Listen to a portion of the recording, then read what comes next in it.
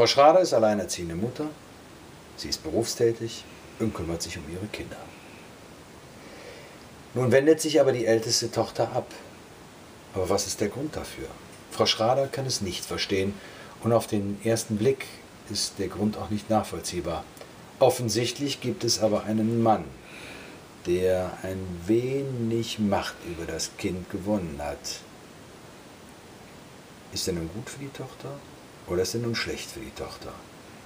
Das Alter des Mädchens zeigt auf jeden Fall auf, dass Frau Schrader sich nicht umsonst Sorgen macht.